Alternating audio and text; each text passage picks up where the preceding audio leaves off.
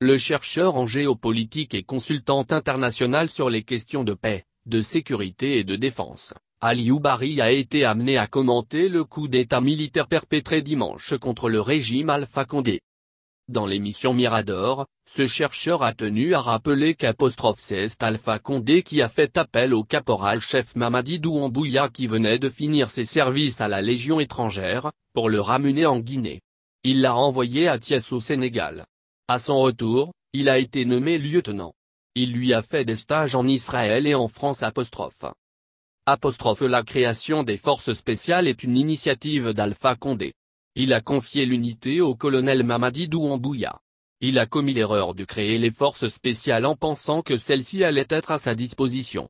Le colonel Douambouya n'a pas accepté que les forces spéciales soient intégrées au sein du ministère de la Défense nationale apostrophe, ajoute M. Barry qui affirme qu'apostrophe la dissension la plus importante entre les deux a été le séjour du colonel Mamadi Douambouya au Burkina Faso.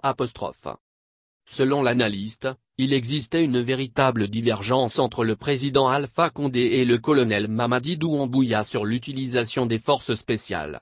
Le dernier a voulu des forces spéciales de vraies forces autonomes, pas intégrées dans l'armée explique-t-il. Il rappelle qu'en 2017, les Américains ont réuni à Ouagadougou tous les commandants des forces spéciales de la sous-région pour un exercice très coordonné. Le colonel Assimi Guata, qui dirige aujourd'hui la junte au Mali, était responsable des forces spéciales maliennes. Les deux se sont liés d'amitié à Oa apostrophe, souligne-t-il. Depuis le mois de mai, selon M. Barry, le bruit courait partout qu'on voulait mettre la main sur Mamadi Douambouya apostrophe. Parce que, dit-il, on a fait comprendre à Alpha Condé que s'il ne met pas la main sur le commandant des forces spéciales, il aurait le même problème qu'Ipk. Il y a trois jours, ils ont donné le feu vert pour le faire arrêter. Malheureusement, il a riposté, parce qu'il avait une unité organisée à sa disposition.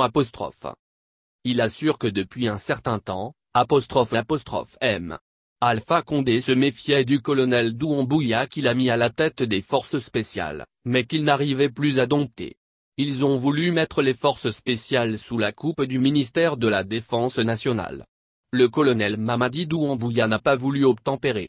Parce qu'il considère que c'est une unité qui était à la disposition du président de la République pour la lutte antiterroriste apostrophe.